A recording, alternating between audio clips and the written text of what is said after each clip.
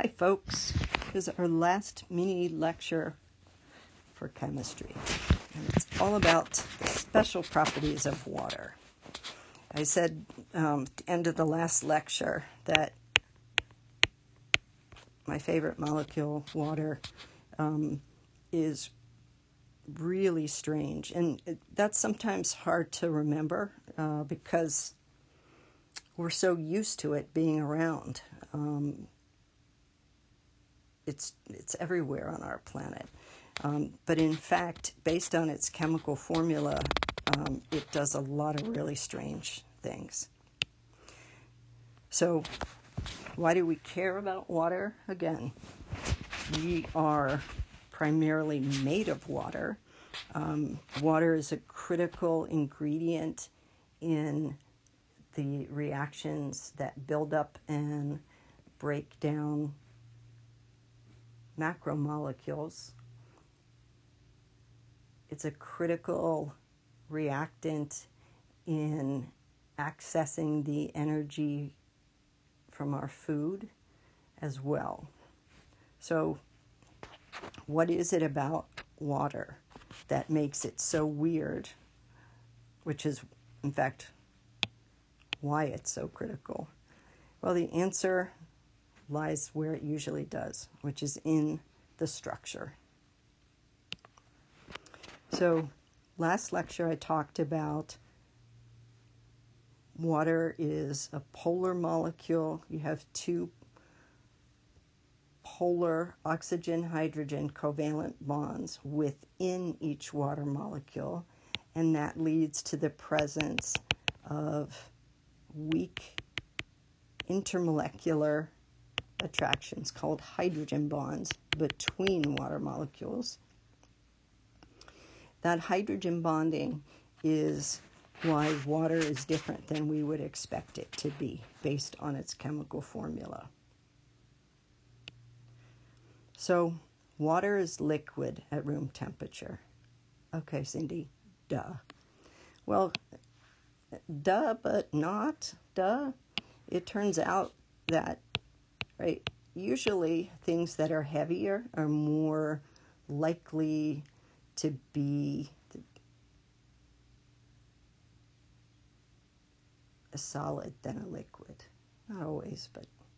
So if I have hydrogen sulfide, which is H2S, right, and I have H2O, everything else that I, pretty sure this is the case, but I'm going to say it anyway, where you have a column six element, so six valence electrons, sharing two valence electrons with two different hydrogens.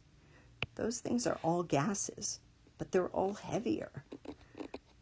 So they really, the fact that water is not a gas at room temperature and pressure is that's strange. The temperature of liquid water goes up and down very, very slowly, something that's referred to as specific heat. So it has a high specific heat. Um, one way to convince yourself of that is think about um, if you go to the beach at the summer, you go to a pool at the summer, right? Everybody's, when it's really, the sun's shining down on the sand or the pool deck, everybody's running really fast to get their feet in the water because their feet are burning. Well, the reason that the water isn't as hot as the sand is that it takes more heat energy to heat water than it does to heat sand. Water has a high heat of vaporization. That means it takes a lot more energy to take water from being a liquid to a gas than you would expect it to water as a solid, which is what ice is, um, is actually less dense than it is when it's a liquid. Right? If if you think about density, right? Density is I always describe it as how much stuff you have in a given amount of space. Right? So if I have got the same amount of space in these two boxes, which I'm going to end up not being able to draw so that they look the same, but you get my picture. Pretend they're the same size. And one has a lot more, um, you can fit a lot more molecules in that space. It's more dense. And remember, the difference between solids and liquids and gases is how far apart the molecules are, or the the, the um, if you have a, an element, the atoms in the element are. So normally solids are more dense than liquids, but not in water. Water is also what is referred to as cohesive. It sticks to itself. It also sticks to other things, like spider webs, like plant leaves, like um, your hair when you walk through uh, a misty morning. Water is sticky because it has partial charge. It sticks to itself.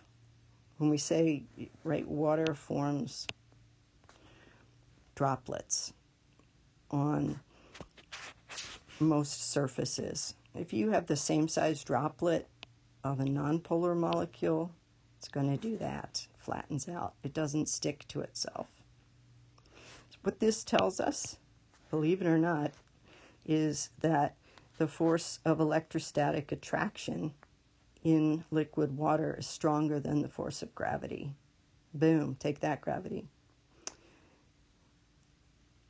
Water is also a solvent, meaning you can dissolve charged particles think ions, which are often referred to when they're in the human body as electrolytes.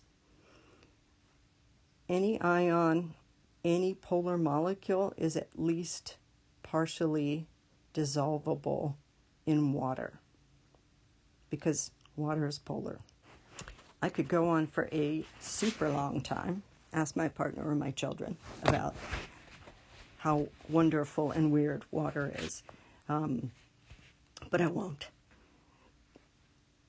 Bottom line, all of these crazy, unexpected, from a chemical point of view, properties of water are a function of the fact that it's made of two polar covalent bonds and hydrogen bonding happens between water molecules. In order for water to go from being a liquid to a gas completely, you have to add enough energy to break all of the hydrogen bonds that have formed. That's a lot of energy. Um, all right, enough about that. On to pH. All right, pH, which um, as you probably know, has to do with acids and bases or alkalis. Um, now, water molecules, covalent bonds are strong, right? But anything that can happen does happen a tiny percentage of the time. So sometimes, particularly, well, in liquid water, water molecules are constantly bumping into each other. And every so often, they will dissociate or break up partially. And when they do that, what happens is so here's, right, we've got oxygen here, and these are our hydrogens.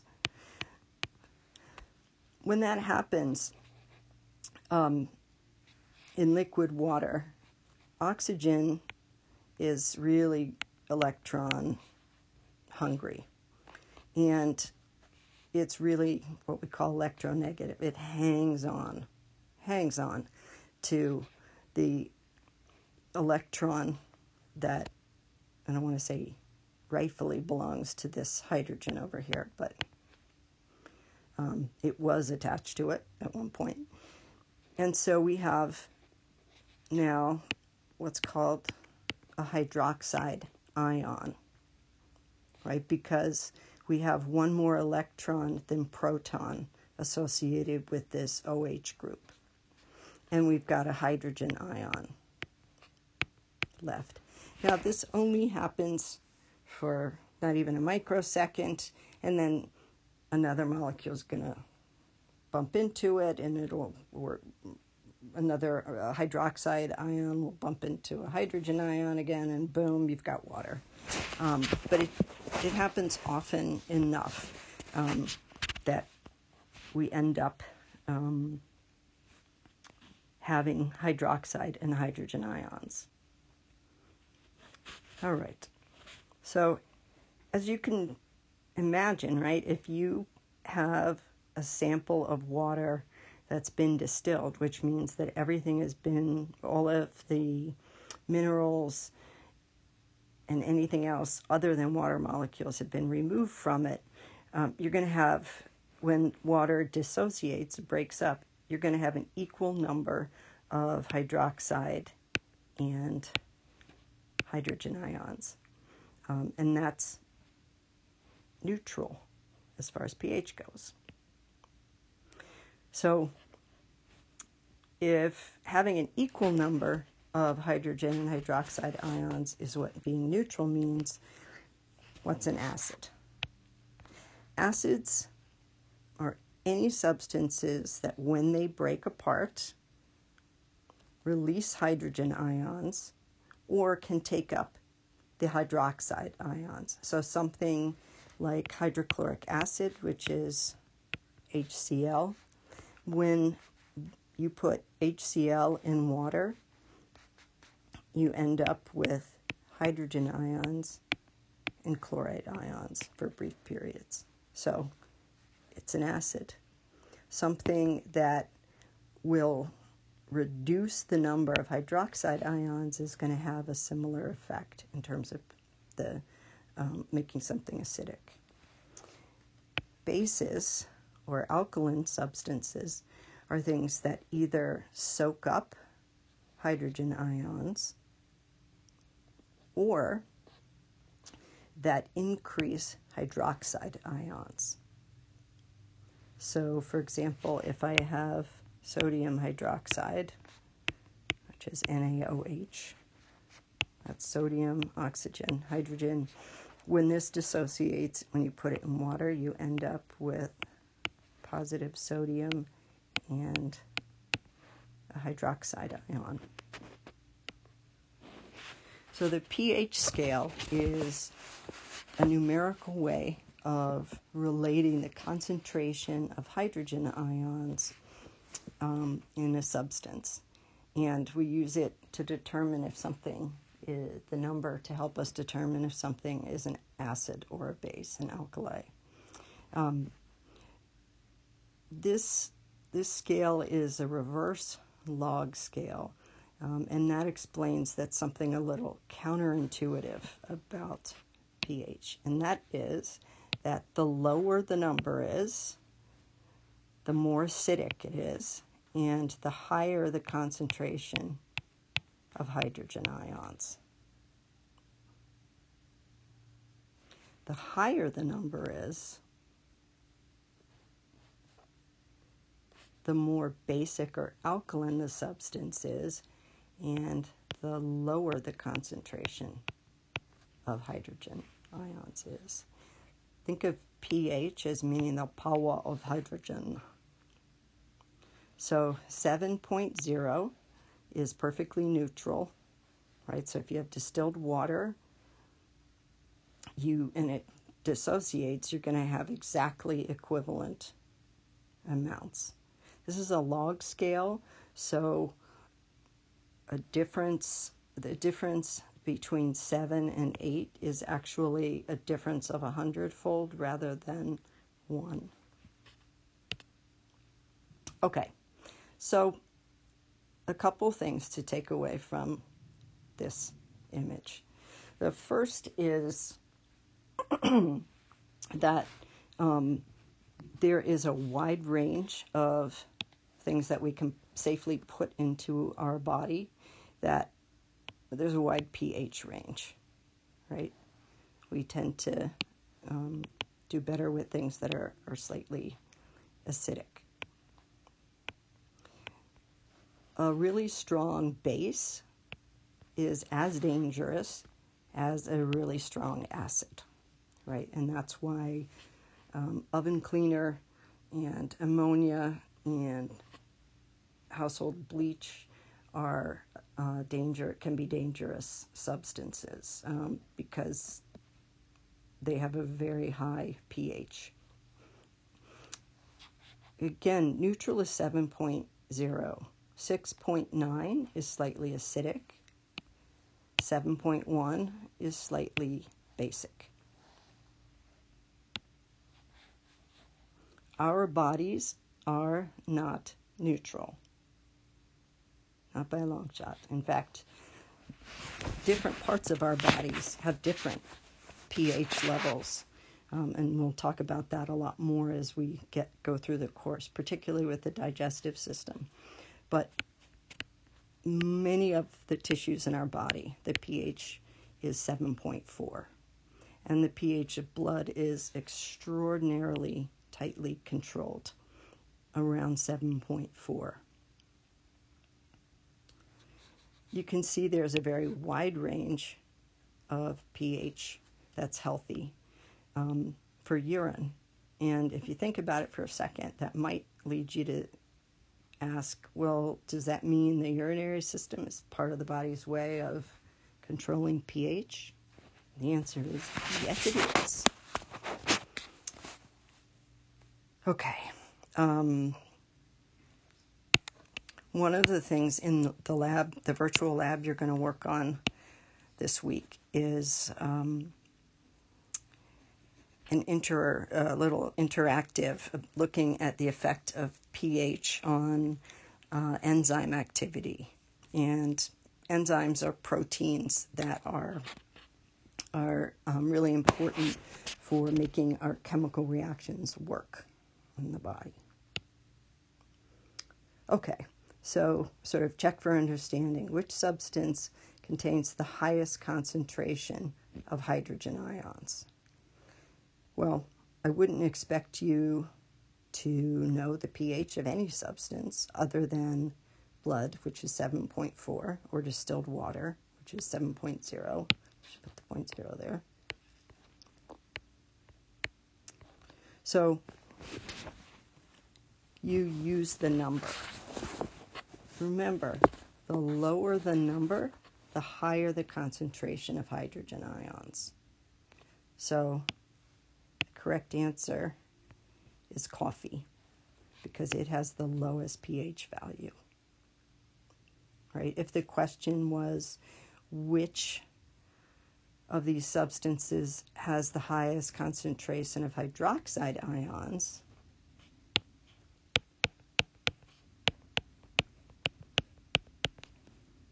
it would be bleach because that's got the highest pH value. All right, so in order to change pH, so say I have an acid and I want to raise the pH to neutral. Well, to do that, I'm going to need to add a base. Okay, that's what neutralization means. You're bringing the solution to a neutral value. So if you have a pH of 7.5 and you add a strong base to it, right? Well, a base increases the concentration of hydroxide ions and or decreases the concentration of hydrogen ions. So we have a solution with a pH of 7.5. If we add a strong base, the pH number is going to go up, right? Because the more basic something is, the higher the number is. So we can automatically get rid of those two. It's not going to stay at the same pH because we are adding something that is going to either decrease the hydrogen ion concentration or increase hydroxide ion concentration. So that's out. That leaves us with A and B. So we know that there's going to be an increase in the number. So is that because ba- that base you add increases the number of hydrogen ions or because it decreases it? We just set up here, right? Decreases hydrogen ions. Um, if you increase the number of hydrogen ions in a solution, you would be adding an acid, and that would actually bring the pH number down. All right. So, one of the last ideas that we're going to talk about for our basic chemistry has to do with buffers. Buffers are different than neutralizing agents. A buffer is something that allows a solution, for example, your blood, to resist changes in pH. Doesn't mean no change happens at all, but it means that the pH of the solution normalizes rapidly instead of changing permanently. And buffers, which are usually a combination of a weak acid and a, a weak base, do that by soaking up excess hydrogen and hydroxide ions. And that's what this little video shows, or this little interactive shows.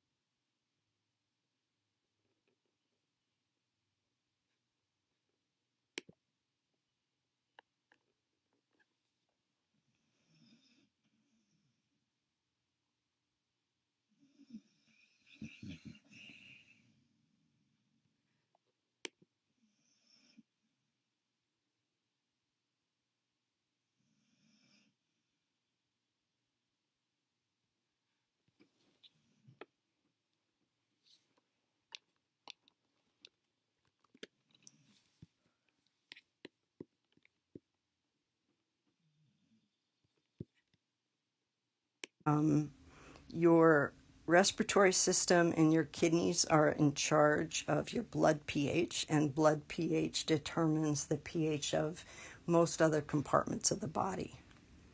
Um, this is what happens if your body becomes too acidic. None of it is good, and it can result in death. And this is what happens if your body becomes uh, too alkaline. Um, also, can end in death. So, why is your body so invested in not allowing you to change your pH? Well, the sort of non answer answer is maintaining the pH of body fluids in a narrow range is important to health. Well, that's not really an answer. Right? Um, the answer has to do with these special proteins called enzymes. Enzymes are, uh, proteins do damn near everything, but um, one of their signature jobs is making chemical reactions that are important in our cells more likely to happen. Now, when you change the pH of a solution, that contains proteins. Proteins have this complex three dimensional shape. Remember, shape equals structure, and then structure determines function. So, for this protein to work, it needs to have a particular shape. Well, the shape of proteins is profoundly sensitive to two variables. One is pH, the other is temperature. A really high temperature can kill you because it leads to denaturation or denaturing of your enzymes. Without the enzymes, the reactions that support life don't happen, or at least they don't happen fast enough. So there's an optimal temperature for enzymes to function well. There's also, for every enzyme that exists, there is a specific pH where it's most effective. And if the pH is outside of that range, the protein unfolds and loses its shape and it never refolds. So if you think about um, think about cooking an egg if you've ever had ceviche, right? Ceviche is when you cook raw fish um, by letting it sit in um, the juice of citrus fruits, which contains citric acid. You're essentially cooking and denaturing the proteins, not with heat, but by changing the pH. And that's what makes the, um, the ceviche not just taste so good, but also um, uh, have the texture and the nutritional value that it has. All right, so you're on to biochemistry. You've got the basics.